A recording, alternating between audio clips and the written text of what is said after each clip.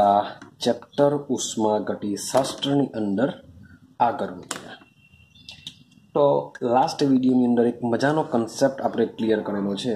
એ છે આપણો એન્થાલ્પી. અને એન્થાલ્પી ફેરફાર, આંતરિક ઊર્જા અને એન્થાલ્પી વચ્ચે કયો સંબંધ હોય છે એ પણ આપણે સમજીને આવ્યા છે. તો લાસ્ટ વિડીયોની અંદર બે સૂત્ર ખૂબ જ ઇમ્પોર્ટન્ટ હતા. એક તો delta H is equal to delta U plus P delta V આ ઇમ્પોર્ટન્ટ છે. ત્યાર પછી delta H is equal to delta U plus delta N G R T આ સૂત્ર બી ઇમ્પોર્ટન્ટ છે. કયું સૂત્ર ક્યારે વાપરવાનું એ પણ મેં તમને લાસ્ટ વિડીયોમાં વાત કરી છે. તો આજે આપણે એવો જ એક નાનો અમઠો કન્સેપ્ટ સમજવા માંગીએ છીએ. એ છે આપણો માત્રાત્મક ગુણધર્મો અને વિશિષ્ટ ગુણધર્મ. હવે મોટે ભાગે આ જે કન્સેપ્ટ છે, એ કન્સેપ્ટ તમને મે બી પૂછાય તો વીએસક્યુમાં પૂછાઈ જાય, એટલે કે તમને એઝ અ વ્યાખ્યા સ્વરૂપે પૂછાઈ જાય કે માત્રાત્મક ગુણધર્મ કોને કહેવાય, વિશિષ્ટ ગુણધર્મ કોને કહેવાય, અથવા તો વીએસક્યુની અંદર એના એક્ઝામ્પલ પૂછાઈ જાય. બસ આટલું જ તમારે યાદ રાખવાનું છે અને બહુ સિમ્પલ વસ્તુ છે. બસ એક વ્યાખ્યા યાદ રાખવાની છે અને સાથે સાથે એના એક્ઝામ્પલ તમારે મેમરાઇઝ કરીને ચાલવાના છે. આઈડિયા આવે છે? ચાલો. તો શરૂઆત કરીએ આપણે માત્રાત્મક ગુણધર્મ. ભાઈ, માત્રાત્મક ગુણધર્મ શું છે? તો શબ્દ સમજો માત્રા. માત્રાનો મતલબ એવો થાય કે ભાઈ જથ્થો માત્રા એટલે શું થશે? જથ્થો થશે. તો એની વ્યાખ્યા શું થશે? કે પ્રણાલીના જે ગુણધર્મો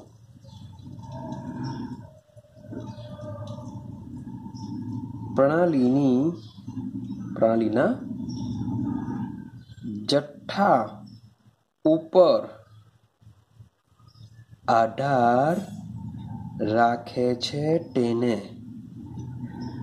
તેને શું કહેશું આપણે માત્રાત્મક ગુણધર્મ આઈડિયા પછી યાદ રહેશે આની શું છે વ્યાખ્યા છે કે પ્રણાલીના જે ગુણધર્મ પ્રણાલીના જથ્થા ઉપર આધાર રાખતા હોય તેવા ગુણધર્મને શું કહેશું આપણે તેના માત્રાત્મક ગુણધર્મ કહેશું હવે આ જે જથ્થો હોય છે પ્રણાલીનો જથ્થો એટલે કે ભાઈ દ્રવ્યનો જથ્થો હશે શું હશે દ્રવ્યનો જથ્થો હશે તો આની જગ્યાએ મે બી તમે કદ શબ્દ વાપરી દો. કદ શબ્દ વાપરી દેવ તો બી ચાલશે કે પ્રણાલીના કદ ઉપર આધાર રાખે પણ શું કહેવાશે? માત્રાત્મક ગુણધર્મ કહેવાશે. ચાલો, નીચે આપણે વાત કરીએ. બંનેની વ્યાખ્યા વચ્ચે ડિફરન્સિએશન સમજીએ. હવે અહીંયા લખું છું વિશિષ્ટ ગુણધર્મ કે પ્રણાલીના જે ગુણધર્મો પ્રણાલીના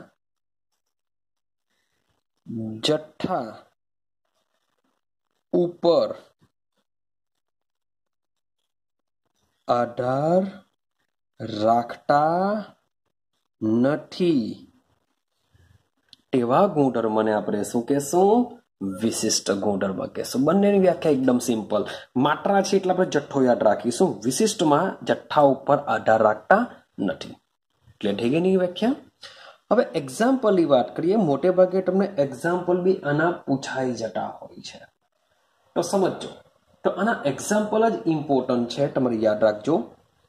જેમ કે ડર, જેમ કે ડર. હવે જાણે કે કોઈનું ડર હોય, તો ડર આપણે કંઈ નાના નાના પાર્ટિકલ્સ નથી માપતા. આપણે ઓલ ઓવર આખું માપીએ. જાણે કે આપણું વજન છે, તો આપણું વજન જેટલું બી હોય, એ આખું આપણે માપીએ છીએ. આઈડિયા આવે છે? તો ડર લઈ લો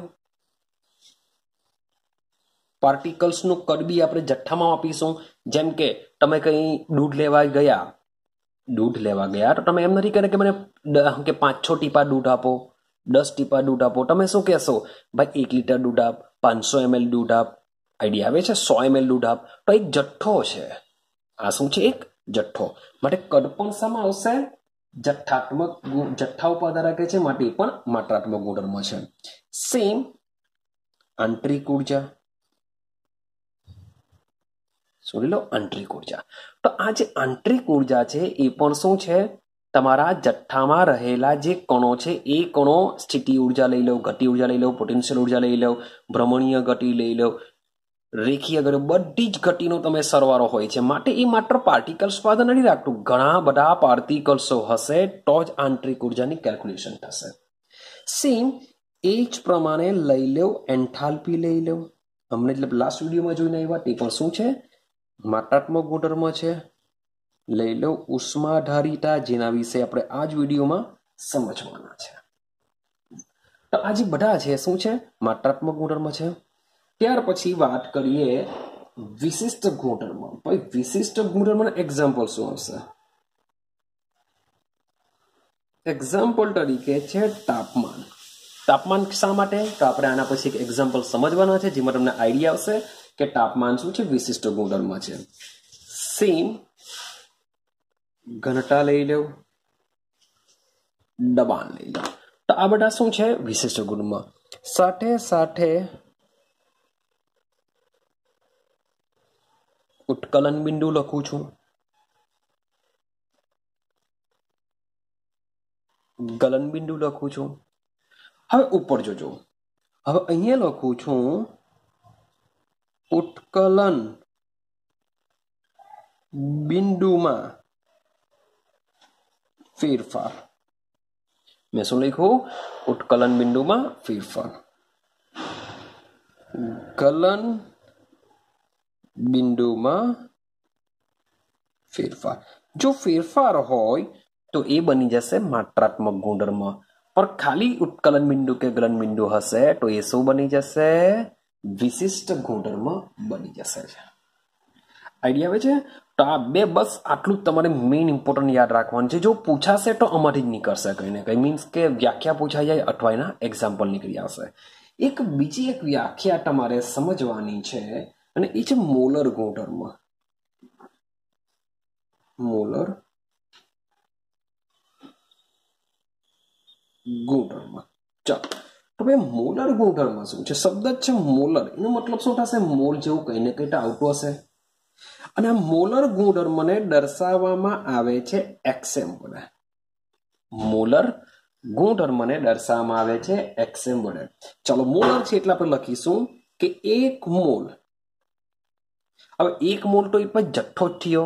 નાની અમથી તો વાત નથી, કારણ કે એની અંદર પાર્ટિકલ્સ કેટલા આવવાના યાદ કરો? છ પોઈન્ટ જીરો બાવીસ into ten raise to twenty three તો એક મોલની અંદર આટલા બધા મોલિક્યુલ્સ આવેલા છે. તો ભાઈ, એ તો સીધી સિમ્પલ વસ્તુ છે. જથ્થો જ કહેવાશે તો ભાઈ, જથ્થો હશે તો મોલર ગુણધર્મ બી શું હશે? માત્રાત્મક ગુણધર્મ હશે, કારણ કે જથ્થો જાતે દર્શાવે છે. તો ભાઈ, એક મોલ પદાર્થ ધરાવતી પ્રણાલીના માત્રાત્મક ગુણધર્મ. મતલબ કે માત્રાત્મક ગુણધર્મ આપણે એક્સથી દર્શાવીએ. મૂલ્ય છે. કે કોઈ પણ પદાર્થનો જો એક મોલ હોય તો એક મોલ પદાર્થનો જે માત્રાત્મક ગુણધર્મ હોય છે તેને આપણે એક્સએમ વડે દર્શાવીશું. મીન્સ કે છે માત્રાત્મક ગુણધર્મો મીન્સ કે જથ્થા ઉપર જ આધાર રાખે છે. પણ જથ્થો તો ભાઈ ઓછો બી હોઈ શકે, વધારે બી હોઈ શકે, એક મોલ બી હોઈ શકે, પાંચ મોલ બી હોઈ શકે, વીસ મોલ બી હોઈ શકે.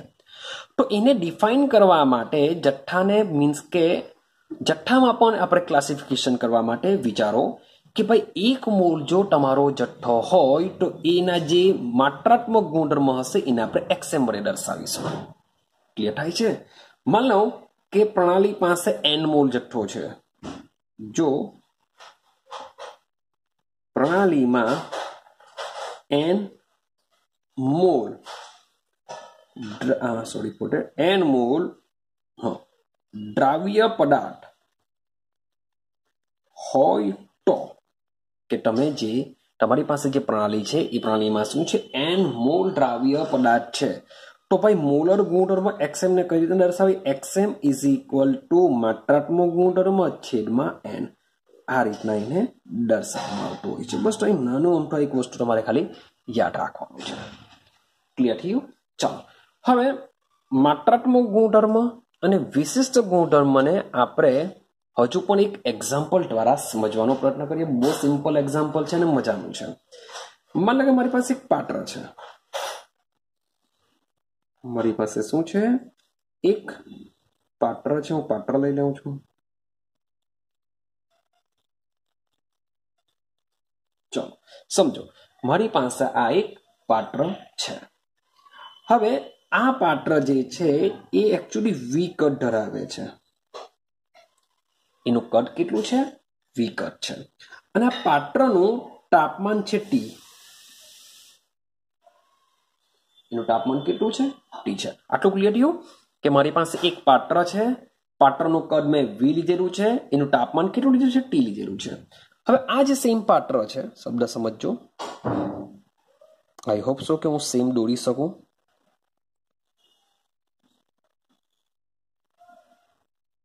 નહીં દોરાય એવું સમજી લેજો કે શું હશે આ સેમ હશે.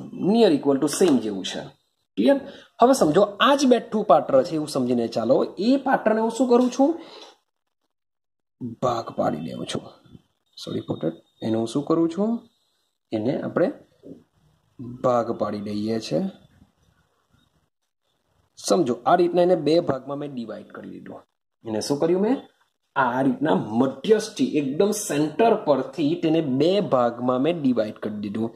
તો સીધી સિમ્પલ વસ્તુ છે કે આ બાજુનો જે ભાગ હશે, તેનું કટ કેટલું હશે? વી બાય ટુ હશે. આ બાજુનો જે ભાગ હશે, એનું કટ કેટલું હશે? વી બાય ટુ હશે. એટલે કે કદ અડધું અડધું થઈ જવાનું. આખા પાટાનું કદ હતું વી પણ જ્યારે એને આપણે અડધું અડધું કરી દઈએ, એટલે કે વચમાંથી આપણે એક માની લઈએ કે કટ કરી દઈએ. તો એક બાજુના ભાગનું કટ થઈ જશે વી બાય ટુ, બીજા ભાગના થઈ જશે વી બાય ટુ. હવે ટેમ્પરેચરની વાત કરીશું, ટેમ્પરેચર ટી બાય ટુ થશે. તો ના, ટેમ્પરેચર તો ભાઈ બંને પાત્રમાં એક સરખું જ રહેશે. એટલે કે આ બાજુ પર ટેમ્પરેચર ટી રહેશે, આ બાજુ બી ટેમ્પરેચર ટી રહેશે. ટેમ્પરેચર થોડું અડધું અડધું થવાનું. ટેમ્પરેચર તો કોન્સ્ટન્ટ હશે. માટે જ તમે આના પરથી જો વિચાર કરો, તો જો તમારું જે તાપમાન છે, એ તાપમાન એકચ્યુઅલી તમારા પાત્ર બે થઈ ગયા, તો પણ એક સરખું રહ્યું. તમારા પાત્ર મીન્સ કે બેટ કે એક હતું, ત્યારે બી ટી હતું, બે થઈ ગયા, તો બી ટી હતું. માટે આ જે ટી જે છે, તાપમાન છે, એ શામાં આવતું હોય છે? વિશિષ્ટ ગુણધર્મમાં આવતું હોય છે. એને એના જથ્થા સાથે કોઈ લેવા દેવા હોતું નથી. આઈડિયા આવે છે કોઈ તો? દસ પાર્ટિકલ્સ હોય કે એવો ગેડ્રો જેટલા પાર્ટિકલ્સ હોય, બધા માટે તાપમાન કેવું હોય છે? એક સરખું હોય છે. માટે એ તાપમાન શું છે? વિશિષ્ટ ગુણધર્મ છે. હવે તમે કદ વિચાર કરો. કદ મીન્સ કે પહેલાં જ્યારે જથ્થો વધારે હતો ત્યારે વી હતું. પણ હવે જથ્થો ઓછો થઈ ગયો તો વી બાય ટુ થઈ ગયું. માટે આ જે છે એ કયો ગુણધર્મ કહેવાશે? માત્રાત્મક ગુણધર્મ કહેવાશે. એટલે કે દ્રવ્યના જથ્થા ઉપર આ આધાર રાખતું હોય છે. ક્લિયર થઈ ગયું એટલું ઓકે ચાલો. તો મીન્સ કે એની વ્યાખ્યા અને એક્ઝામ્પલ તમારે બરાબર દિમાગમાં રાખવાના છે. ચાલો. હવે આપણે એક મજાનો ઇમ્પોર્ટન્ટ ટોપિકની શરૂઆત કરવાના. ઇમ્પોર્ટન્ટ છે. બરાબર. સમજવાનો પ્રયત્ન કરજો અને ટોપિકનું નામ છે આપણું ઉષ્માધારિતા. જેને ઇંગ્લિશમાં આપણે હીટ કેપેસિટી કહી શકીએ છીએ. હીટ કેપેસિટી ચાલો. તો ઉષ્માધારિતા શું છે. એને આપણે સમજવાનો પ્રયત્ન કરીએ. તો જો શબ્દને આપણે સંધિ છોડીએ, તો વિચાર કરો શું થઈ શકશે? ઉષ્મા વટ્ટા ધારિતા ઉષ્મા વટ્ટા ધારિતા એટલે આપણા દિમાગમાં શું આવશે? ભાઈ, ઉષ્મા ધારણ કરવાની ક્ષમતા. ઉષ્મા ધારિતાનો મતલબ શું થશે? ઉષ્મા ધારણ કરવાની ક્ષમતા. મેં તમને એન્થાલ્પીમાં પણ આના વિશે થોડી ઘણી ઇન્ફોર્મેશન આપી હશે. તો સેમ આપણે ફરીથી પાછા અને સમજવાનો પ્રયત્ન કરીએ. ઉષ્મા ધારિતા શું છે? ચાલો, માની લો કે તમે પાંચ દિવસથી કંઈ ખાધું નથી. પાંચ દિવસથી કંઈ ખાધું નથી. ચાલો, છોડો પાંચ દિવસ બી છોડી દઈએ. ભાઈ હું તમને એકાદ દિવસ કશે બહાર લઈ જાઉં છું જમવા માટે. મારી પાસે બે સ્ટુડન્ટ છે. બે સ્ટુડન્ટને હું જમવા માટે લઈ જાઉં છું. એક સ્ટુડન્ટ કેવો છે? એકદમ પાતળો છે. બોડી બહુ ઓછી છે. અને એક કેવો છે? થોડીક બોડીવાળો છે. જાડો છે. તો ભાઈ, સમજો, ખાલી એક્ઝામ્પલ છું, એવું જરૂરી નથી. હવે બંનેને જ્યારે હું જમાડવા માટે લઈ જાઉં છું તો તમે વિચારો કે કોણ વધારે ખાશે પહેલાં જ કહું છું, ખાલી એક્ઝામ્પલ સમજવા માટે છે. બાકી જરૂરી નથી કે ભાઈ, જાડો માણસ બહુ બધું ખાતો હશે પાટરો ઓછું ખાતો હશે. ભાઈ પાટરો બી વધારે ખાઈ શકે છે જાડા કરતા. ક્લિયર તો માત્ર હું એક્ઝામ્પલ આપું છું, બાકી બાકી કોઈ એવું કંઈ તથ્ય નથી, સચ્ચાઈ નથી કે ભાઈ પાટરો માણસ બહુ ઓછું ખાય છે, જાડો બહુ વધારે ખાય છે. એવું હોટું નથી, ભાઈ પાટરો બી વધારે ખાઈ શકે છે, જાડો બી ઓછું ખાઈ શકે છે. પણ ખાલી સમજીએ કે ભાઈ માન લો કે જાડો છે, એટલે કેવું ખાટો હશે? વધુ ખાતો હશે? પાટરો કેવું ખાતો હશે?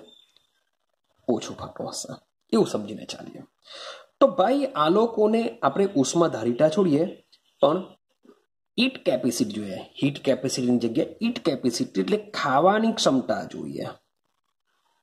તો ખાવાની ક્ષમતાની વાત કરીએ તો ભાઈ આની ખાવાની ક્ષમતા કેવી હશે? વધારે હશે એટલે કે એની બોડીની અંદર, એના શરીરની અંદર એ વધુ ભાઈ સંગ્રહ કરી શકશે.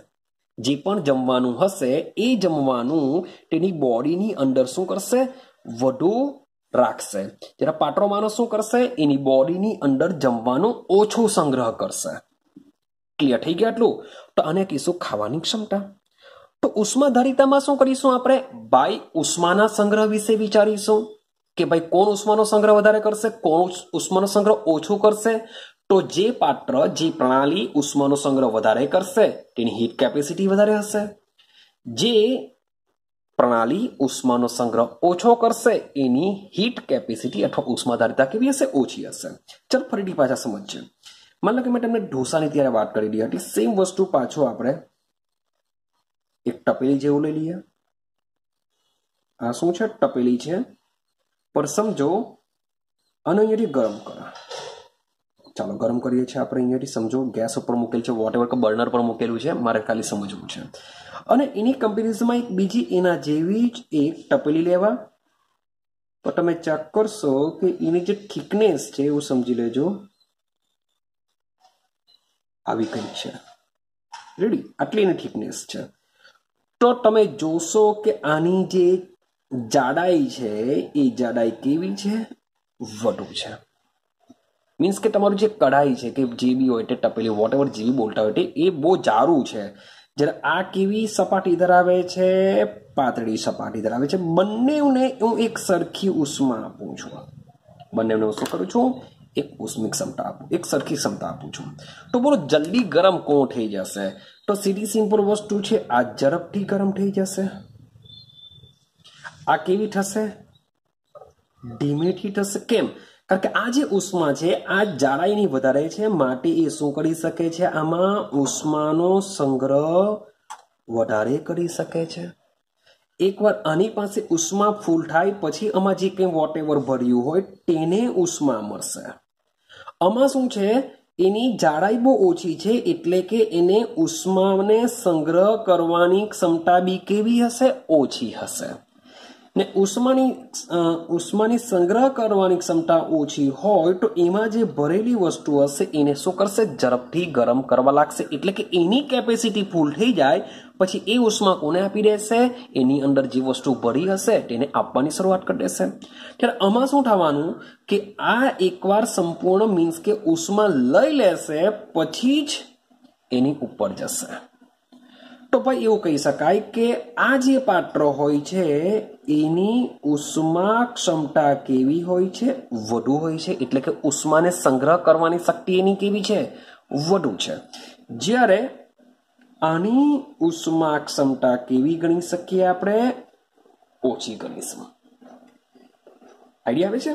ચાલો, હવે બરાબર સમજો હવે આપણે શું કરીએ છીએ? આ બંને તમે એક્ઝામ્પલ જોયા. આપણે શું કરીએ છીએ? આપણે ઉષ્મા આપીએ છીએ. આપણે શું કરીએ છીએ? ઉષ્મા આપીએ. તો જ ખબર પડશે ને ઉષ્મા ધારીટા કોઈની ખાવાની કેપેસિટી આપણે જાણવી હોય તો એને પહેલાં ખવડાવવું પડશે. તો આપને ખબર પડશે કે કેટલું ખાશે. તો ઉષ્મા ધારીટા જો મારે સમજવી હોય તો સૌથી પહેલાં મારે પ્રણાલીને શું કરવું પડશે? ઉષ્મા આપવી પડશે. અને આ ઉષ્મા આપણે શાના દ્વારા આપીશું? ક્યુ દ્વારા આપીશું? તો ખબર કેવી રીતના પડશે કે કેટલી ઉષ્મા આપી, કેટલી ઉષ્મા એને સંગ્રહ કરી? અથવા તો એવું જરૂરી નથી કે ઉષ્માભાઈ લેસ જ ઉષ્માભાઈ દૂર બી કરી શકે, અથવા ઉષ્મા લઈ બી શકે. પણ ખબર કેવી રીતના પડશે કે ભાઈ પ્રણાલીએ કેટલી ઉષ્મા મેળવી? તો ભાઈ એ ખબર એવી રીતના પડશે કે પ્રણાલીનું તાપમાન શરૂઆતમાં કંઈ ને કંઈ હશે ટી વન આપણે એવું લઈને ચાલીએ. માનો કે પ્રણાલી છે તેને આપણે ઉષ્મા આપી નથી. એટલે કે એને ગરમ કરી નથી, ત્યારે માની લો કે એનું તાપમાન વોટ એવર ટી વન એટલે કે રૂમ ટેમ્પરેચર લઈ લો સત્તી, સત્તાવીસ અંશ સેલ્સિયસ જેટલું હશે. રૂમ ટેમ્પરેચર પર મૂકેલું હશે સાધનને. તો એ સત્તાવીસ અંશ સેલ્સિયસ ટેમ્પરેચર જેટલું તાપમાન ધરાવતું હશે. હવે જ્યારે ઉષ્મા એને આપી, ત્યારે એની નવી અવસ્થા હશે, ત્યારે એનું તાપમાન માની લઉં કે ટી ટુ થઈ ગયું હશે. તો હું જો ટી ટુમાંથી ટી વન એટલે કે જો ડેલ્ટા ટી જો મેળવી લઉં તો મને પ્રણાલીએ એટલે કે આ તપેલીએ કેટલી ઉષ્મા શોષી હશે તે મને ખબર પડી જશે. આઈડિયા આવે છે? મીન્સ કે પ્રણાલીએ કેટલી ઉષ્માનો સંગ્રહ કર્યો હશે, કેટલી ઉષ્મા લઈ લીધી હશે તે તાપમાનના મીન્સ કે શરૂઆતમાં ટી વન લઈ લઉં ને ઉષ્મા આપ્યા બાદ એનું ટી ટુ લઈ લેવા. T two minus T one કરા, એટલે કે મને શું મળશે? ડેલ્ટા ટી મળશે. એટલે કે પ્રણાલીએ જે શોષેલી ઉષ્મા છે, એ તાપમાનના ફેરફાર દ્વારા માપી શકાય છે. પ્રણાલીએ શોષેલી ઉષ્મા છે, એ તાપમાનના ફેરફાર દ્વારા આપણે માપી શકીએ છીએ, અને આ તાપમાનનો ફેરફાર એ આપેલી ઉષ્મા અથવા તો પ્રણાલીએ સંગ્રહ કરેલી ઉષ્મા બરાબર જ હોય છે. વિચારો કે ટી વન તાપમાન છે. હવે તમે જેટલી ઉષ્મા આપશો એટલો ટી ટુ વધશે. માન લો કે ટી ટુ થઈ ગયો ત્રીસની જગ્યાએ પચાસ અંશ સેલ્સિયસ. કેટલો થઈ ગયો પચાસ. ઉષ્મા આપ્યા બાદ પચાસ અંશ સેલ્સિયસ થઈ ગયો. તો આ તપેલીએ કેટલી ઉષ્મા સંગ્રહ પામેલી હશે મારે જાણવી છે. તો હું શું કરા? પચાસમાંથી સત્તાવીસ બાદ કરી દેવા. ક્લિયર તો રહેશે કેટલું? અઢીસો ત્રેવીસ જેવું. ક્લિયર તો ત્રેવીસ અંશ સેલ્સિયસ જે ડેલ્ટા ટી મળ્યો છે એના પરથી એવું કહી શકાય કે પ્રણાલીએ જે ઉષ્મા જે સંગ્રહ કરેલી છે કેટલી છે? ત્રેવીસ અંશ સેલ્સિયસ જેટલી ઉષ્માનો સંગ્રહ કર્યો છે. એટલે કે આ જે ડેલ્ટા ટી છે, જે તાપમાનનો થતો ફેરફાર છે, એ પ્રણાલી દ્વારા શોષાયેલી ઉષ્મા બરાબર હોય છે. આઈડિયા આવે છે કઈ? હા કે ના? એટલે કે તાપમાનનો તમે જે વધારો કરો છો, એ ઉષ્માના સમપ્રમાણમાં હોય છે. આ કઈ ક્યારની વાત ચાલે છે? જો પ્રણાલી ઉષ્માનું શોષણ કરતી હોય તો, જો પ્રણાલી ઉષ્માનું શોષણ કરતી હોય તો, પ્રણાલીએ શોષેલી જે ઉષ્મા છે, એ તાપમાનના વધારા તરીકે આપણે ઓળખીશું. મને આ જે તાપમાનનો શબ્દ બોલું છું ફેરફાર. એટલે કે ડેલ્ટા ટી છે એટલે આપણે ફેરફાર લખીશું. હવે આ જે તાપમાનનો જે ફેરફાર છે, એ ફેરફાર અથવા તો ચાલો ભાઈ વધારો લખી દઈએ કારણ કે એકચ્યુઅલી સો ટકા વધારો થવાનો છે ક્યારે? જો પ્રણાલી ઉષ્મા શોષે તો કારણ કે પ્રણાલી ઉષ્મા શોષે તો સો ટકા T two greater than T one જ આવે. જો પ્રણાલી ઉષ્માનું શોષણ કરે, એટલે કે ટી વન તે હટી પછી ઉષ્મા આપી તો બાય તાપમાન તો વટવાનું જ. એટલે કે T two greater than T one જ હશે. કઈ કન્ડિશનમાં જો ઉષ્માનું શોષણ કરે તો. પણ કોઈ વસ્તુ એવી હોય કે ઉષ્મા ગુમાવટી હોય. ઉષ્મા ગુમાવટી હોય તો ભાઈ T one greater than T two પણ બની શકે છે. પણ કઈ કન્ડિશનમાં ઉષ્મા ગુમાવટો પણ માની લઈએ કે ઉષ્માનું શોષણ કરે છે. તો તાપમાનનો આપણે વધારો લેશું. ફેરફાર છોડી દઈએ. તો તાપમાનનો જે વધારો છે, એ વધારો હેરફેર થયેલી ઉષ્માના શું હોય છે? સમપ્રમાણમાં હોય છે. સમપ્રમાણમાં હોય છે. એટલે કે ઉષ્માના સમપ્રમાણમાં એટલે કે ક્યુ? તાપમાનનો વધારો એટલે કે ડેલ્ટા ટી શું હોય છે? એકબીજાના સમપ્રમાણમાં હોય છે. ક્યુ? ચાલે છે ડેલ્ટા ટી જેટલી ઉષ્મા આપશો એટલો તાપમાનનો ફેરફાર થશે. આઈડિયા આવે છે? તો જો હું ચલને જો કાઢી નાખું, ચલો પછાત લઈ લઈએ આપણે. જો હું આપણે અહીંયા સુધી પહોંચ્યા છે. ક્યુ ચલે છે ડેલ્ટા ટી માન કે હું ચલને કાઢી નાખું તો ચલને કાઢવાને લીધે અહીંયા ઇઝી ઇક્વલ ટુ મારે મૂકવું પડશે ગુણાંક. અહીંયા એવો કોઈ પણ એક આંકડો મૂકવો પડશે ને ગુણાંકની જગ્યાએ મૂકવામાં આવે છે is equal to C into delta T જ્યાં સીને કહેવામાં આવે છે ઉષ્માધારિતા. શું કહીશું આપણે? ઉષ્માધારિતા. કહે છે, સીને શું કહેશો? ઉષ્માધારિતા કહેશો. કેમ? કેમ સીને મૂકવામાં આવ્યો? કારણ કે યાર કોઈ પણ પ્રણાલી હશે, એ પ્રણાલીની ઉષ્માને સંગ્રહ કરવાની ક્ષમતા કેવી હશે? જુદી જુદી હોય છે. તો એ પણ આપણે સમજી લઈએ કે ભાઈ ઉષ્માધારિતા અથવા તો જે સી છે, સી સી સાના ઉપર આધાર રાખશે ઉષ્માધારિતા સાના ઉપર આધાર રાખે છે એ બી યાદ રાખી બેટો વીએસ વીએસક્યુમાં જો પૂછાઈ જાય તો કે ઉષ્મા ધારિતા સાના ઉપર આધાર રાખે સાના ઉપર આધાર રાખે તો એક સીધી સિમ્પલ વસ્તુ છે. એક તો વાત કરી, પ્રણાલીના કદ પર આધાર રાખે, કે ભાઈ જાડી છે કે પાતળી છે, એ પણ ઇમ્પોર્ટન્ટ છે.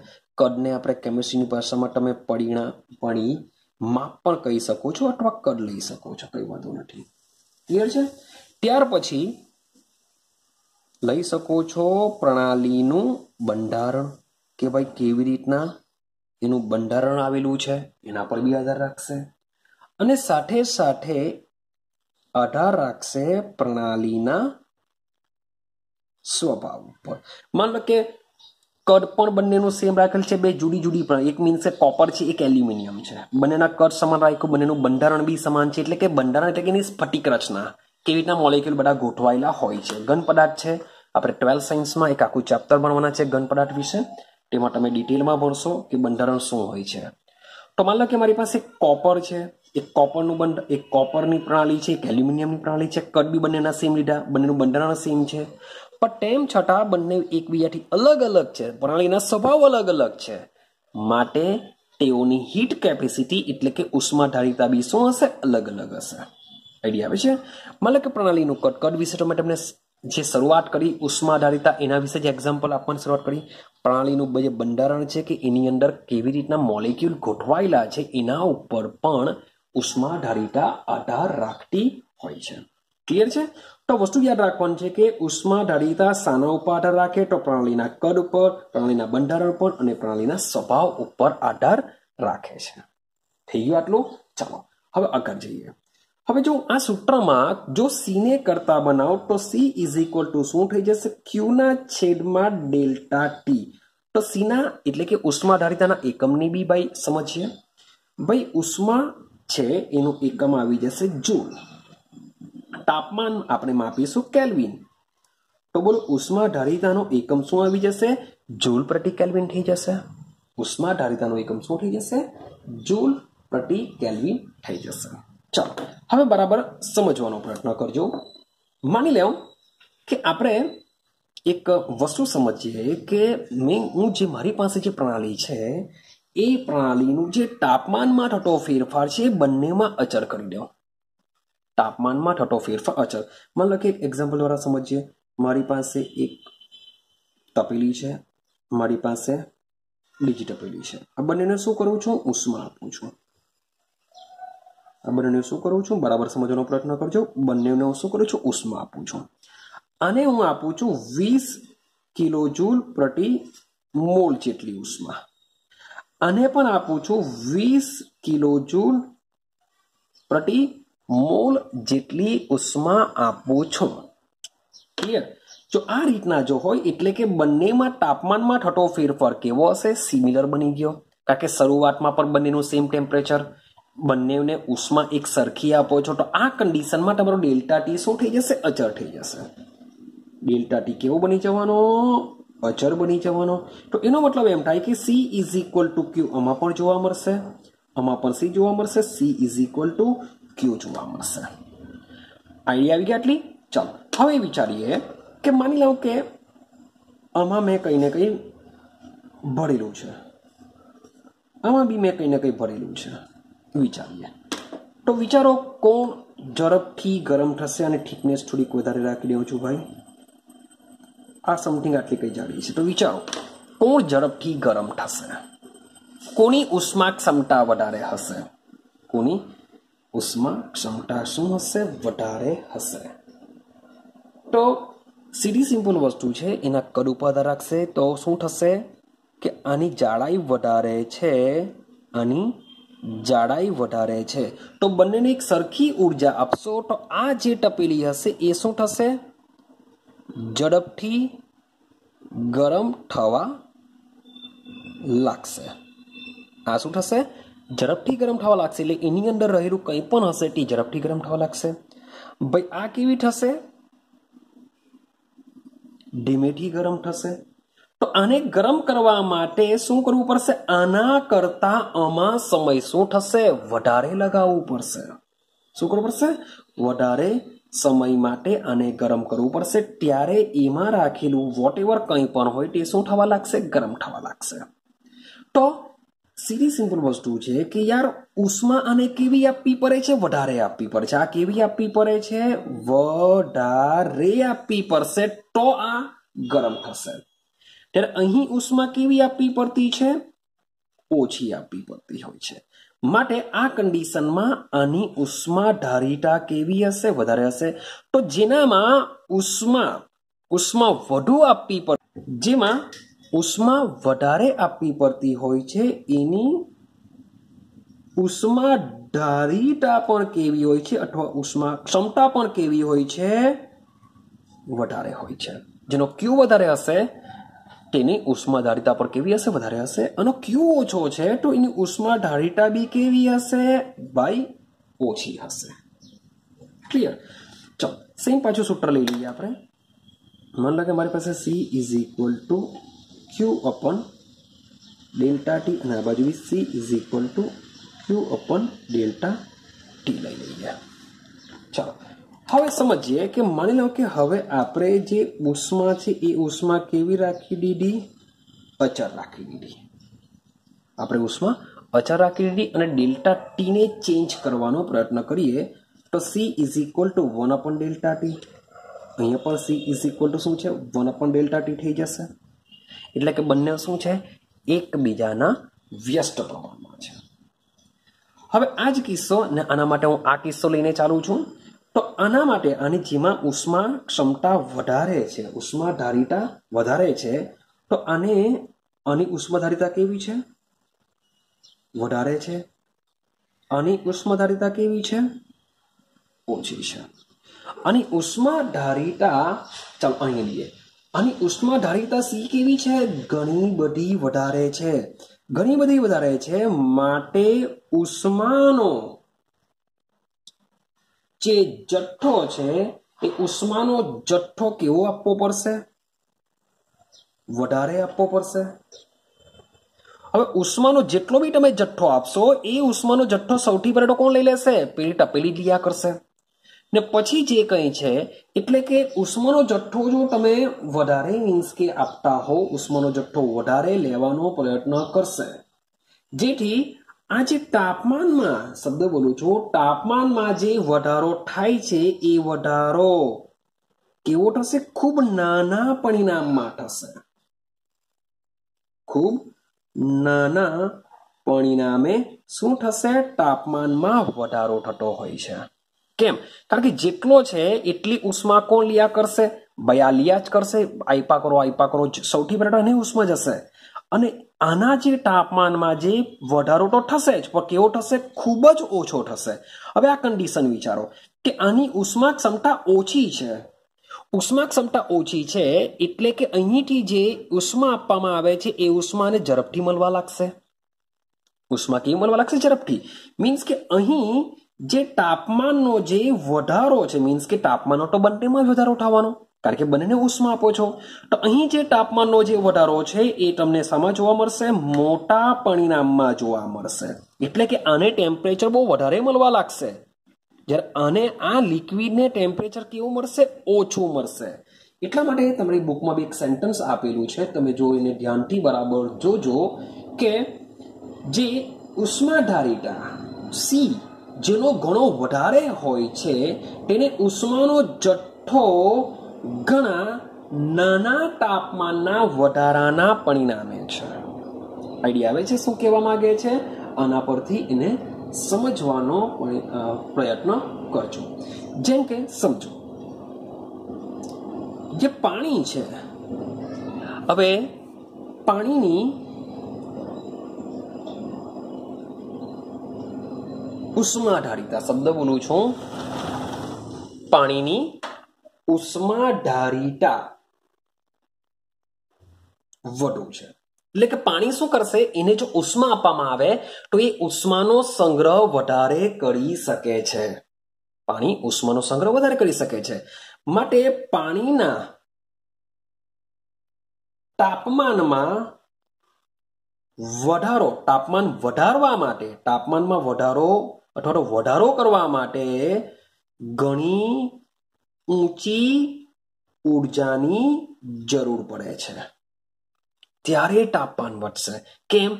પાણીની ઉષ્માધારિતા વધારે છે ત્યારે. તો એ લખેલું છે કે જેટલી ઉષ્માધારિતા વધુ હશે, તેટલો તાપમાનનો તો વધારો થશે બંનેમાં થશે. પરંતુ અહીં કેવું થશે? ધીમે ધીમે તાપમાન વધશે, કારણ કે ઉષ્માધારિતા વધારે છે એટલે કે ઉષ્માનો જથ્થો વધુ જરૂર પડશે. તો જે પાણી છે, પાણીની ઉષ્માધારિતા પણ વધુ છે. માટે પાણીના તાપમાનમાં જો મારે વધારો કરવો હોય, તો એના માટે શું કરવું પડશે? ઘણી બધી ઉર્જાની જરૂર પડતી હોય છે. આઈડિયા આવે છે? ચાલો, અગરી જઈએ. હવે અગરી સમજીએ. ભાઈ, સૂત્ર છે આપણું કે જે ઉષ્માધારિતા છે, એ ઉષ્માધારિતા ઇઝ ઇક્વલ ટુ ક્યુ લઈ લઈએ આપણે. છેદમાં delta T C is equal to Q upon delta T છે. ક્લિયર છે? મળી લેવું કે હું ઇઝ ઇક્વલ ટુ ને કરી નાખું તો સી ચલે છે. શું હોય છે લોકો? ક્યુ હોય છે. સી ચલે છે ક્યુ હવે તમારું જે ક્યુ હોય છે, એ યાદ કરો. મેં આગળ વાત કરેલી છે, એ અવસ્થા વિધેય નથી યાર. બે જ યાદ રાખવાના છે. ક્યુ અને ડબલ્યુ શું યાદ રાખવાનું છે? ક્યુ અને ડબલ્યુ શું છે? અવસ્થા વિધેય નથી. તો ભાઈ સીધી સિમ્પલ વસ્તુ છે કે સી ચલે છે ક્યુ છે. તો તમારી જે ઉષ્માધારિતા હશે એ પણ શું હશે? અવસ્થા વિધેય નથી. યાર, તમે કહેશો, સર, આવું તો બધું બુકમાં આપ્યું નથી ને તમે બધું એક્સ્ટ્રા એક્સ્ટ્રા ભણાવો છો. તો ભાઈ, તમારી જે ડબલઈ અને જે નીટની એક્ઝામ હોય છે, એમાં કંઈ નક્કી નથી હોતું? કે ક્યાંથી ક્વેશ્ચન નીકળશે શું થશે? અહીં ઉષ્માધારિતા અવસ્થા વિધેય છે કે નથી એવું કોઈ ઇન્ડિકેશન નથી, એના એકમો ઇન્ડિકેશન નથી. તો ભાઈ, જરૂરી નથી કે તમારી એક્ઝામમાં આના એકમ નહીં પૂછાઈ શકે. તો માટે તમને જે લાગે છે કે યાર આ કંઈક એક્સ્ટ્રા વસ્તુ ચાલી રહ્યું છે તો એની તમે બુકમાં નોટ કરતા જજો કે જેથી તમે જ્યારે બી વાંચો ત્યારે તમને આને યાદ રહી જાય કે આ વસ્તુ મીન્સ કે ઇલેવન્થ ચાલો માની લો કે ઇલેવન્થ સ્કૂલ લેવલ ઉપર મીન્સ કે ચાલી જશે તમારી બુકમાં જે વસ્તુ હશે તે જ પૂછશે પણ જે ડબલ નીટ માટે તો કંઈ ગેરંટી હોતી નથી તમને મીન્સ કે બુકમાં નહીં દેખાતું હશે તેવું પણ તમને એક્ઝામમાં દેખાઈ શકે છે. તો એની તૈયારી સ્વરૂપ મીન્સ કે તમારે બધી જ વસ્તુ શું કરવું પડશે? યાદ રાખવી પડશે. માટે જે વસ્તુ નથી તેને શું કરતા જ રહેજો? એડ કરતા રહેજો. મીન્સ કે તમે સ્કૂલ લેવલ પર આ જે વસ્તુ ચાલી રહ્યું છે તે બધી વસ્તુ મીન્સ કે એક્સ્ટ્રા એડ બી કરશો તો પણ ટીચર તમને ખોટું નથી આપવાના. કે ભાઈ બુકમાં તો છે નથી, તમે આ બધું લખેલું છે. હા, સાચું લખેલું તો સો ટકા તમને સાચું આપશે. એટલે બહુ ટેન્શન નહીં લેતા. તો આ બધી વસ્તુ બુકમાં ઇન્ડિકેશન નથી. તે છતાં બી તમે તમારે શું કરવાનું છે અને લખતા રહેવાનું છે જેથી પ્રોબ્લેમ નહીં આવશે. ચાલો, હવે જોજો. આપણે એક વસ્તુ અગાડી સમજીને આવ્યા કે જે ઉષ્માધારિતા છે, જે ઉષ્માધારિતા છે, એ ઉષ્માધારિતા માત્રાત્મક ગુણધર્મો છે. શું છે? મીન્સ કે પદાર્થના જથ્થા ઉપર રાખે. આપણે કોઈ એક મોલેક્યુલને ગરમ નથી કરતા. ઉષ્મા કોને આપીશું? સમગ્ર પ્રણાલીને આપીશું. સમગ્ર જથ્થાને આપીશું. એવું થોડું કહેવાના કે ચાલ ભાઈ, ચા બનાવવા મૂકી તો ભાઈ પાણી ખાલી ગરમ થશે ચા ની ગરમ થતી. એવું થવાનું નથી દૂધની ગરમ થતું. ભાઈ એ શું કરશે? બધી જ વસ્તુ આખા જથ્થાને ઉષ્મા મળશે. માટે જે ઉષ્માધારિતા હોય છે, એ શું હોય છે? માત્રાત્મક ગુણધર્મ હોય છે. યાદ રાખવાનું છે કે તમારી જે ઉષ્માધારિતા સી છે, એ પદાર્થના જથ્થાને શું હોય છે? સમપ્રમાણમાં હોય છે. પદાર્થના જથ્થાને સમપ્રમાણમાં હોય છે. એના પરથી બે વ્યાખ્યા આવતી હોય છે. એના પરથી બે વ્યાખ્યા આવતી હોય છે. બરાબર સમજો પેલી વ્યાખ્યા છે મોલર ઉષ્માધારિતા.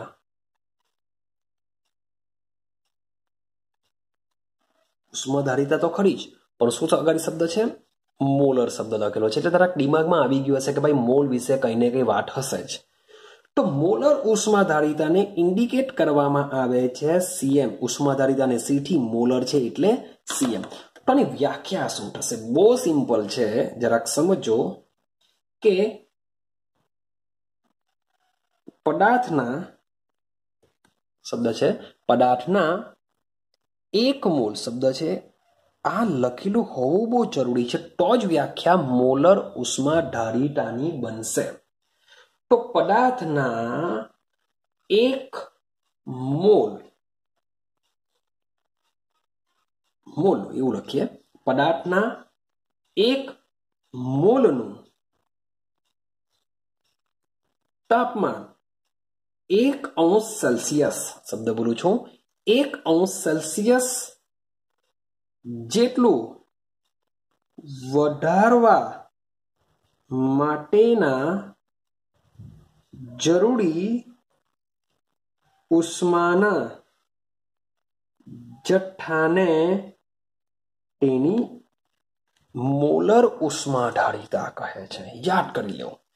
કે પદાર્થના એક મોલ. આપણે એક મોલ પદાર્થ લે છે. ભાઈ લખી શકો એક મોલ પદાર્થના તાપમાનમાં. એવું બી લખી શકો છો કે એક મોલ પદાર્થના તાપમાનમાં એક અંશ સેલ્સિયસ જેટલો વધારો કરવા માટેના જરૂરી ઉષ્માના જથ્થાને તેની શું કહેવામાં આવશે? મોલર ઉષ્મા ધારિતા કહેવાય છે, જેને CM is equal to C by N વડે દર્શાવવામાં આવશે. યાદ રાખજો આ જે સી છે, એ સી છે ઉષ્મા ઉષ્માધારિતા. આ સી શું છે? ઉષ્મા ઉષ્માધારિતા છે. ને એન તો તમને આઈડિયા હશે જ કે શું દર્શાવે છે?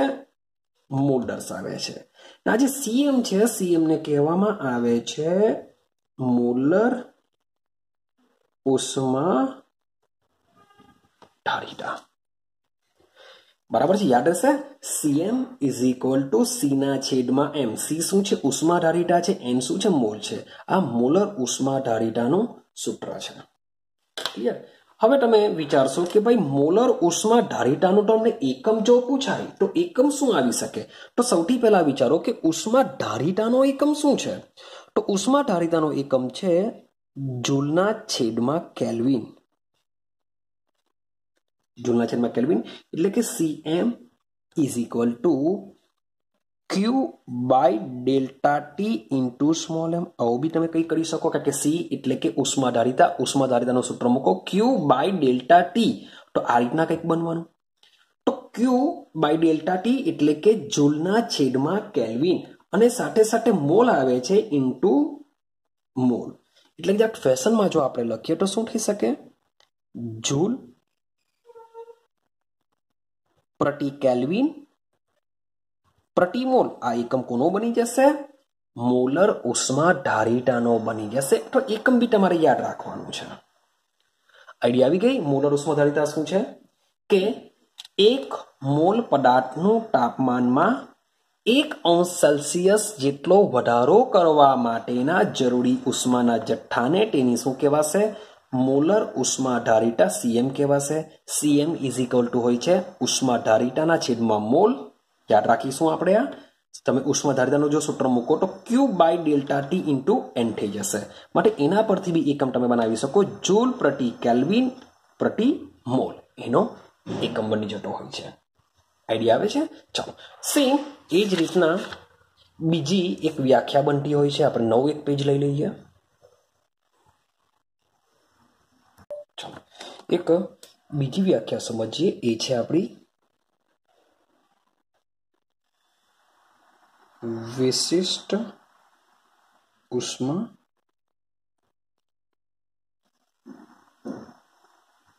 ધારિતા. ચાલો.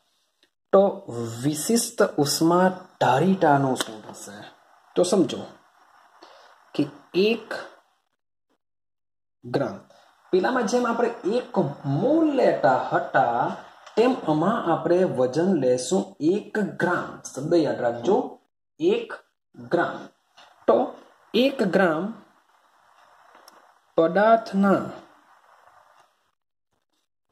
તાપમાનમાં એક અંશ સેલ્સિયસનો વધારો કરવા માટેના જરૂરી ઉષ્માના જથ્થાને તેની વિશિષ્ટ ઉષ્મા ધારિતાથી આપણે એને ઓળખીએ છીએ. કે એક ગ્રામ પદાર્થના તાપમાનમાં વધારે તો એક અંશ સેલ્સિયસ જ, પણ લેશું અહીંયા મોલની જગ્યાએ ગ્રામ લેશું. આવી આવે છે મોલની જગ્યાએ ગ્રામ. માટે આનું જે સૂત્ર છે, એ સૂત્ર તમારું બની જશે માન લો કે વિશિષ્ટ ઉષ્માધારિતા. આપણે બોલીએ છીએ વિશિષ્ટ ઉષ્માધારિતા હું સ્મોલ સી વડે અમને દર્શાવી દઉં. સ્મોલ સી વડે જો આપણે દર્શાવીએ તો શું થઈ શકે?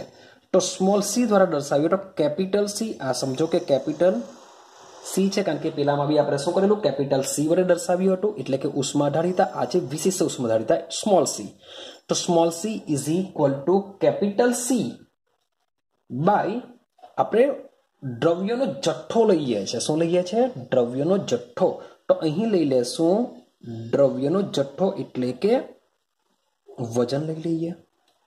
અથવા દર લઈ શકો. કારણ કે એક ગ્રામ છે ગ્રામ એટલે કે વજન આપેલું છે. તો is equal to capital C એટલે શું થશે?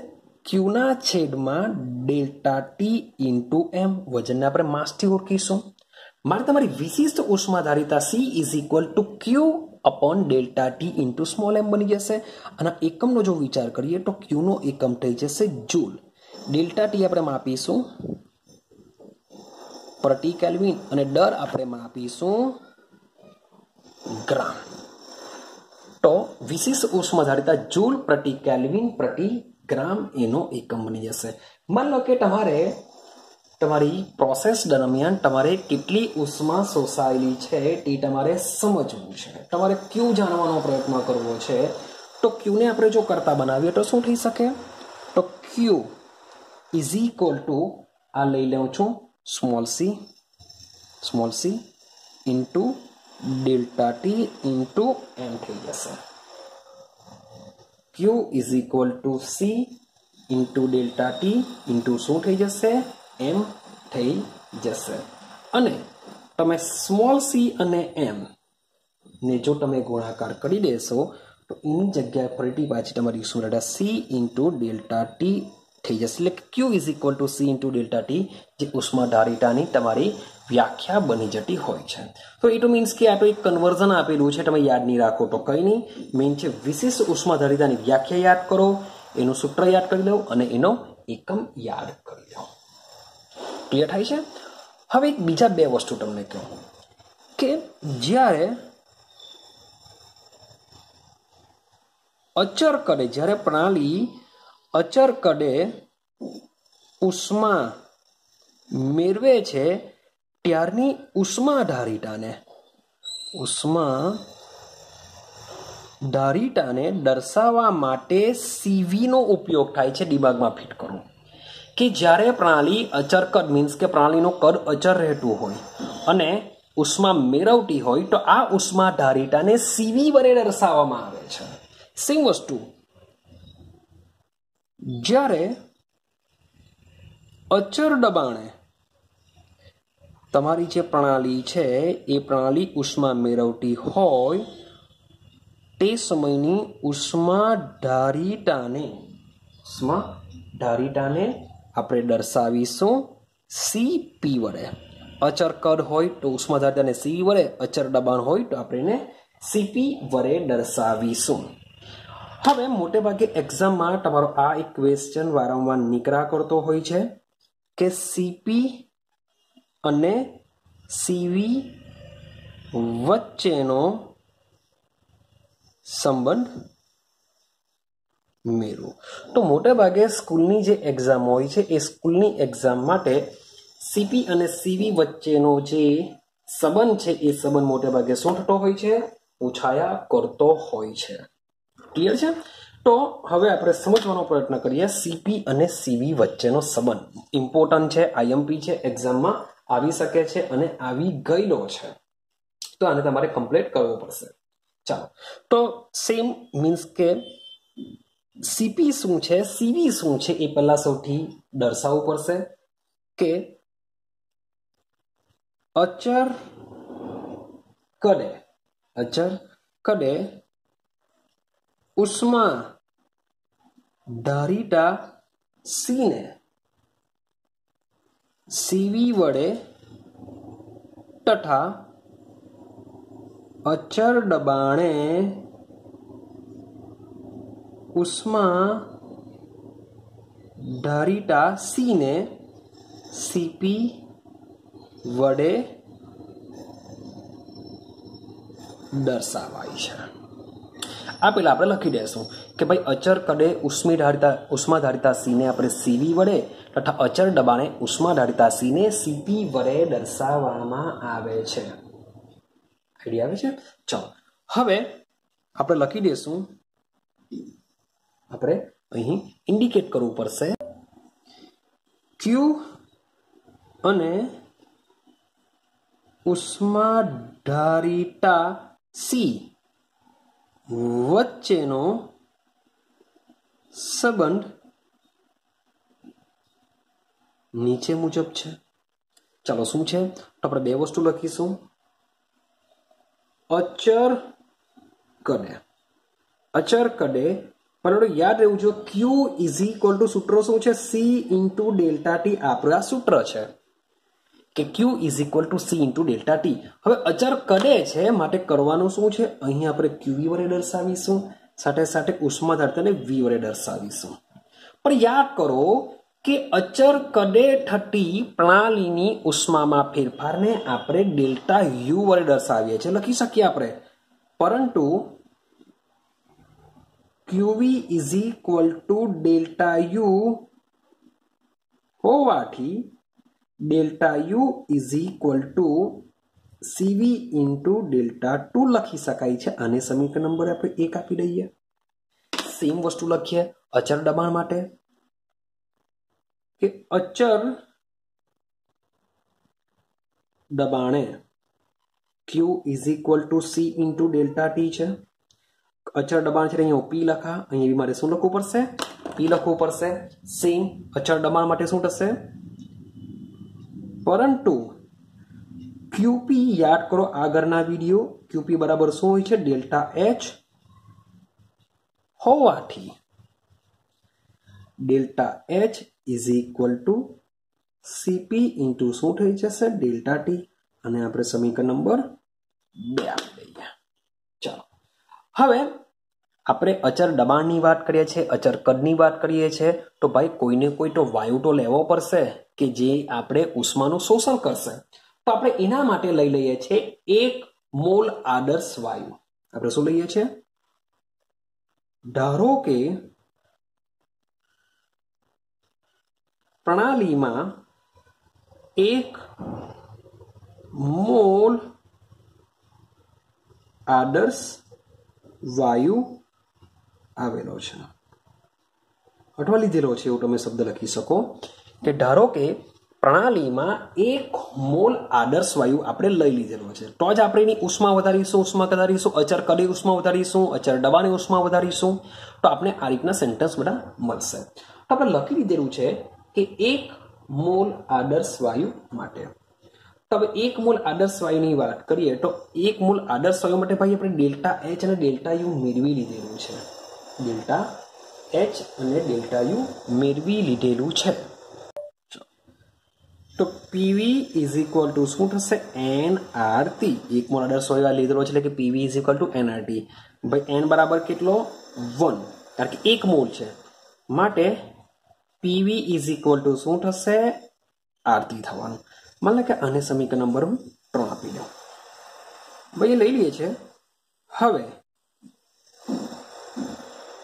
એન્થાલ્પી, ફેરફાર અને આંતરિક ઊર્જા ફેરફાર વચ્ચેનો સંબંધ ક્યાં છે? નીચે મુજબ છે. શું છે? Delta H is equal to delta U plus delta PV થી આપણે લેશું. શું લેશું? Delta PV. યાદ રાખજો, પી ડેલ્ટા વી આપણે નથી લેવાનું. કારણ કે આપણે અચર દબાણ, અચર કદ બંને માટે વાત કરવાની છે. માટે આપણે પી ડેલ્ટા વી નથી લેવાનું. ભૂલ થવી ન જોઈએ. ડેલ્ટા પીવી જ લેશું. ને કે પી ડેલ્ટા વી જો લખી કર્યું એટલે કે દબાણ અચર છે. પણ કદમાં તો ફેરફાર થયો. પણ આપણી પ્રણાલીમાં તો આપણે અચર કદની બી વાત કરીએ છીએ. માટે આપણે ડેલ્ટા પીવી લેશું. ચાલો. તો આને સમીકરણ નંબર ચાર આપી દઈએ. તો અહીં પીવીની જે વેલ્યુ છે તે આપણે સમીકરણ નંબર ચારમાં મૂકીએ. એટલે કે સમીકરણ ત્રણ અને સમીકરણ ચાર પરથી. ચાલો, તો શું થશે? Delta H is equal to delta U plus delta પીવીની જગ્યાએ હું શું મૂકી દઉં છું? આરતી મૂકી દઉં છું. ડેલ્ટા આરતી હવે ભાઈ, આર તો અચળાંક છે. એમાં તો કોઈ ફરક જ નહીં પડશે. માટે delta H is equal delta U plus R into શું થઈ જશે? ડેલ્ટા ટી થઈ જશે. આટલે સુધીનું ક્લિયર થઈ ગયું? ચલો, આને સમીકરણ નંબર પાંચ આપી દઈએ. હવે સમજો કે આપણા જે ઉપરના જે સમીકરણ છે, ડેલ્ટા યુ અને ડેલ્ટા એચ એ બંનેની વેલ્યુ આપણે સમીકરણ નંબર પાંચમાં મૂકીશું. મારે લખીશું, સમીકરણ એક અને બેની કિંમતો સમીકરણ પાંચમાં મૂકતા. ચાલો, તો પાંચમાં આપણે મૂકીએ તો શું થઈ શકે? ચલો, ડેલ્ટા એચની જગ્યાએ શું મૂકીશું? સીપી ઇન્ટુ ડેલ્ટા ટી મુકાશે. સીપી ઇન્ટુ ડેલ્ટા ટી ચાલો, ડેલ્ટા યુ ની જગ્યાએ શું મુકાશે? સીવી ઇન્ટુ ડેલ્ટા ટી મુકાશે. વટ્ટા આર ઇન્ટુ ડેલ્ટા ટી તો જેમ છે તેમ. આર ઇન્ટુ ડેલ્ટા ટી જેમ છે તેમ મૂકી થશે શું? જો ડેલ્ટા ટી દેખાય છે, ડેલ્ટા ટી દેખાય છે, ડેલ્ટા ટી બધા માટે કેન્સલ થઈ જશે. તો તમારું તો સૂત્ર બની જશે CP is equal to CV plus R. માટે CP minus CV is equal to શું થશે? આર. કે જે એકબીજા વચ્ચે સંબંધ ધરાવતું સમીકરણ છે. તો આ રીતના તમે મીન્સ કે કેલ્ક્યુલેશન કરશો તો જેટલા માર્ક્સનું તમને પૂછાયું હશે એ મુજબનું તમને મળી જશે. તો બહુ સિમ્પલ છે સીપી અને સીવી વચ્ચેનો સંબંધ. સીપી શું છે સીવી શું છે, એના વિશે સમજાવી દઉં પછી અચર કડે સોરી ઉષ્મા અને ઉષ્મા ધારિતા વચ્ચેનો સંબંધ તમને ખબર છે Q is equal to C C into delta T પણ અચર કડે હોય તો વી લખી દેશું. ક્યુવી બરાબર ડેલ્ટા યુ થાય. સમીકરણ નંબર એક આપી દઉં. અચર દબાણની વાત કરતા હોઈએ ત્યારે QP is equal to CP into delta T થશે. QP is equal to delta H માટે આના બરાબર ડેલ્ટા એચ થઈ જશે. સમીકરણ નંબર બે આપો. હવે ધારી લેવાનું કે ધારો કે તમારી પાસે એક પ્રણાલી છે જેમાં આદર્શ વાયુ ભરેલો છે કે જેમાં તમે ઉષ્મા આપવાનો છો. અચર કડે બી આપશો, અચળ દબાણે બી આપશો. તો આદર્શ વાયુ લઈ લેશો. PV is equal to NRT N બરાબર વન થઈ જશે. એક મોલ લીધેલો છે. માટે પીવી ઇઝ ઇક્વલ ટુ શું થઈ જશે? આરથી અને નંબર ત્રણ આપો. હવે એન્થાલ્પી અને આંતરિક ઊર્જા વચ્ચે સંબંધ ધરાવતું સમીકરણ આ છે. યાદ રાખજો પી ડેલ્ટા વી ન લખાઈ જાય ને કે ભૂલ થઈ જશે અહીંયાથી જ. આ બધું થશે જ નહીં. મારે ડેલ્ટા પીવી જ લખીશું, માટે પીવીની વેલ્યુ આ છે આરતી છે, અહીંયા મૂકી શકાશે. માટે delta H is equal to delta U plus R R અચર છે, માટે R into delta T delta H અને ડેલ્ટા યુની કિંમત મૂકી દઉં તો તમને મળી જશે સીપી અને સીવી વચ્ચેનું સંબંધ ધરાવતું સમીકરણ તમને મળી જશે. ક્લિયર છે? તો આટલે સુધીની તમને ક્લિયર હોવી જોઈએ. આટલી સુધી તમારે થિયરી રાખવાની છે. થોડુંક અગાડી સમજવાનો પ્રયત્ન કરીએ. એક્સ્ટ્રા કંઈક નોલેજ લઈએ. એઝ અ જે ડબલઈ નીટ લેવલના કન્સેપ્ટ ઉપર મે બી તમને કામ લાગી શકે. હવે સમજીએ કે સીપી અને સીવીનો આટલો તફાવત લીધો. આ શું કહેવાય? CP minus CV is equal to R R એટલે કે વાયુ અચળાંક છે આપણો. આર શું છે? વાયુ અચળાંક. આ શું છે? ઉષ્માધારિત અચર અચર દબાણે અને અચર કદે ઉષ્માધારિતાનો શું છે? તફાવત છે ને તફાવત કોના બરાબર હોય છે? આર બરાબર હોય છે. પરંતુ શું આપણે સીપી એટલે કે અચર દબાણે ઉષ્માધારિતા અને અચર કદે ઉષ્માધારિતાનો જે ગુણોત્તર હશે એ ગુણોત્તર શું હોઈ શકે? તો યાદ રાખજો, તમારે બહુ ડિફાઇન કરવા નથી કે આ કાંઠી આવ્યું જે બધી નીટ માટે કામ લાગશે, કે આ જે સીપી બાય સીવી વચ્ચેનો જે ગુણોત્તર હોય છે, એને ગેમા વડે દર્શાવવામાં આવે છે. શાના વડે દર્શાવવામાં આવે છે? ગેમા વડે. અને ગેમાની અમુક ચોક્કસ કિંમતો આવતી હોય છે અને ચોક્કસ મૂલ્ય આવતું હોય છે. ને આ મૂલ્ય પરથી તમારી જે કોઈ પણ પ્રણાલી હશે, એ પ્રણાલીમાં રહેલો પરમાણુ એક આણવીય હશે કે દ્વિઆણવીય હશે કે બહુ આણવીય હશે તેની માહિતી આ ગેમા આપી શકે છે. કંઈક ઉતરે છે દિમાગમાં? કે સીપી અને સીવીનો જે ગુણોત્તર છે એ ગુણોત્તર બરાબર ગેમા હોય છે અને ગેમાની જે મૂલ્ય, જે કિંમત આવતી હોય છે એ કિંમત પરથી તમારી પ્રણાલીની અંદર જે વાયુ ભરેલો હોય કે કંઈ બી ભરેલું હશે, તો એની રચના એક પરમાણવીય હશે કે દ્વિપરમાણવીય હશે કે બહુ આણવીય હશે તે કહી શકે છે. એટલે કે કોઈ અજ્ઞાત વાયુ ભરેલો હોય અને એ કેટલા આણવીય છે? એક આણવીય પરમાણુ છે કે દ્વિ આણવીય કે બહુ આણવીય છે? તેના વિશે તમને ઇન્ફોર્મેશન મળી શકે છે. તો એના માટે તમારે એક સીધું સિમ્પલ સૂત્ર યાદ રાખવાના છે. જે ડબલી નીટ લેવલ ઉપર તમને આ બધી વસ્તુ કામ લાગશે. માટે જરાક લખી લેજો. બુકમાં લખી શકો છો, નોટબુકમાં લખી શકો છો, કારણ કે બુકમાં આ બધી વસ્તુ આપેલી હોતી નથી. નાની પારું, સ્કૂલ લેવલ પર આ બધા ક્વેશ્ચન નીકળી નહીં શકે, પરંતુ જે ડબલી નીટ લેવલ પર આ બધી વસ્તુ પૂછાઈ શકે. તો સમજો. તો સૌથી પહેલા હું વાત કરું સીવી તો સીવી ઇઝ ઇક્વલ સૂત્ર યાદ રાખવાનું છે એફ બોલું છું F by two into R આ એક સૂત્ર યાદ રાખીશું? સીવી માટે? અને same CP is equal to F by two plus one F by two plus one into R અને આપણે શું કહેશું? સીપી કહેશું. ક્લિયર થાય છે? ચાલો. હવે બરાબર સમજો કે તમને ખબર કેવી રીતના પડશે કે સીપી અને સીવી મીન્સ કે ચાલો આપણે ગુણોત્તર કરી દઈશું. પણ સૌથી પહેલા એફ શું છે? એફની વેલ્યુ શું આવશે? તો ભાઈ આ જે એફની વેલ્યુ છે, એ એફની વેલ્યુ ભાઈ તમારી અંદર જે પ્રણાલી હશે, એ આપણે યાદ રાખીશું કે એક પરમાણવીય હોય. એક એટોમિક એક પરમાણવીય હોય. તો એક પરમાણવીય સ્પીસીસ. હવે એક પરમાણવીય સ્પીસીસનો મતલબ શું થાય? કે તમારી પાસે માન લો કે હિલિયમ વાયુ હોય, નિયોન હોય, આર્ગોન હોય ક્રિપ્ટોન હોય ઝેનોન હોય, આ બધા એકલા એકલા પરમાણુ તરીકે જ અસ્તિત્વ ધરાવે છે. મારે જો તમારી પ્રણાલી તરીકે આ બધા વાયુ હોય, જેને આપણે એક પરમાણવીય સ્પીસીસ કહેશું, એના માટે એફની વેલ્યુ યાદ રાખવાની છે તમારે ત્રણ. તો જોઈએ સીપી અને સીવીનો ગુણોત્તર શું હોઈ શકે. તો સીપી સીપી ચાલો માની લો કે સીપી માટે અહીંયા મૂકી દઉં. સીપી માટે જો અહીંયા હું મૂકું તો શું થશે? Three by two plus one into R ચલો, લસા લઈએ બે કા બે ત્રણ બે પાંચ ફાઈવ બાય ટુ એટલે કે ફાઈવ બાય ટુ ઇન્ટુ શું થઈ જશે? આર થઈ જશે. સેમ એ જ પ્રમાણે સીવીની વાત કરીએ તો સીવી એફ ત્રણ મૂકી દો તો three by two into R થઈ જવાનું. હવે આપણે શું કરવાના છે? ગુણોત્તર લેવાની વાત કરીએ છીએ. તો આપણે લઈએ CP by CV is equal to આપણે કહેવાના ગેમા આપણે શું કહેવાના? ગેમા કહેવાના? ગેમા ઇઝ ઇક્વલ ટુ શું થશે?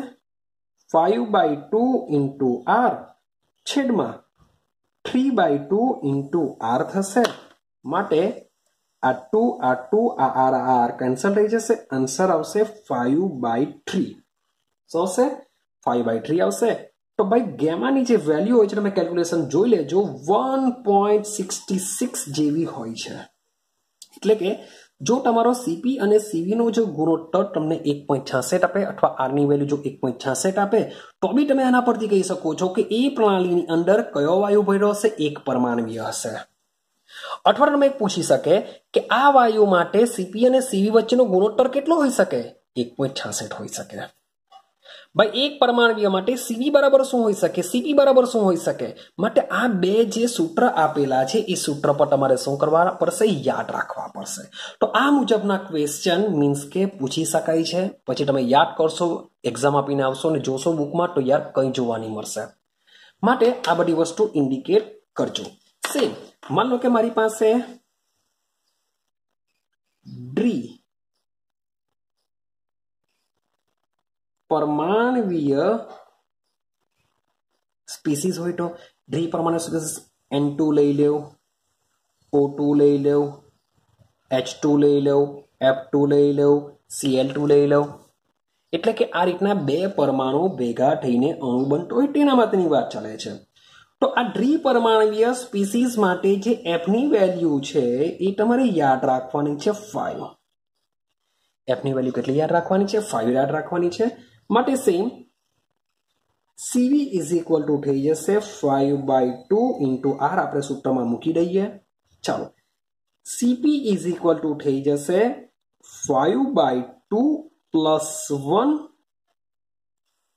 into R ચાલો તો ઇઝ ઇક્વલ ટુ શું થશે બે કા બે એટલે કે seven by two into R થઈ જશે એટલે કે મારી પાસે સીવી અને સીપીઓ બંને આવી ગયા તો શું કરું? યાદ રાખજો સીપી બાય સીવીનો ગુણોત્તર છે. સીપી બાય સીવી તો સીપીના છેદમાં હું શું મૂકી દઉં? સીવી મૂકી દઉં. તો શું થશે? Seven by two into R છેદમાં five by two into R તો ભાઈ આ બે બે આર આર કેન્સલ થઈ જશે. આન્સર હશે સેવન બાય ફાઈવ તો જરાક જોઈ લેજો કેલ્ક્યુલેટરમાં જરાક કેલ્ક્યુલેશન કરી દેજો. વન પોઈન્ટ સમથિંગ આવવું જોઈએ. કેટલો આવજો વન પોઈન્ટ સમથિંગ એની કંઈ ને કંઈ વેલ્યુ હશે એક્ઝેક્ટલી વેલ્યુ મેં હજુ કાઢી નથી, તમે જરાક જોઈ લેજો. તો મીન્સ કે તમને ગેમાની વેલ્યુ જો આ જે આવતી હશે તેટલી જો આપેલી હોય, તો એ બધા આવાયુ હશે એમાં. ડ્રી પરમાણવીય અણુ હશે કોઈનો કોઈ. આઈડિયા આવે છે? સેમ લાસ્ટ પોઈન્ટની વાત કરી લઈએ આપણે. બહુ પરમાણવીય સ્પીસીસની વાત કરીએ.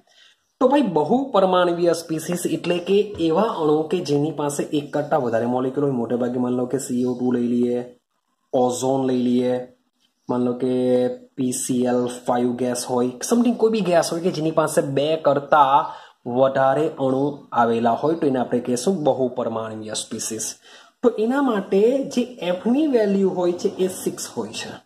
એફની વેલ્યુ કેટલી યાદ રાખીશું? સિક્સ યાદ રાખીશું.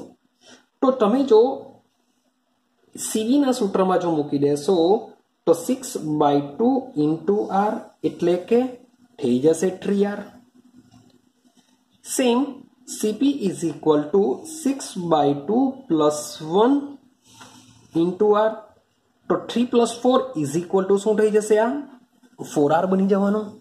માટે CP by CV is equal તમે કરશો તો સીપી છે ફોર આર સીવી છે three R R R cancel થઈ જશે.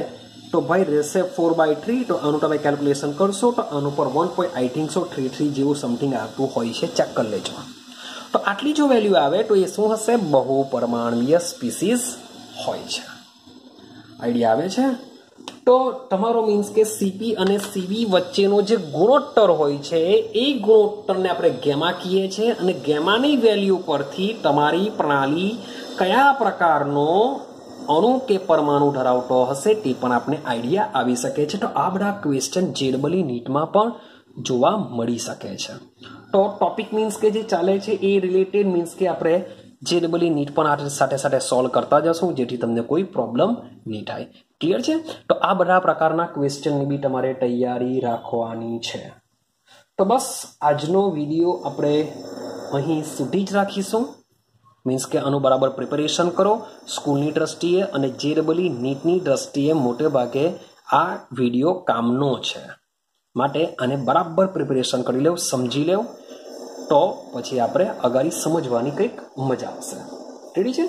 તો હવે મીન્સ કે નેક્સ્ટ વિડીયોની અંદર આપણે ડેલ્ટા એચ અને ડેલ્ટા યુના માપન તરફ જશું.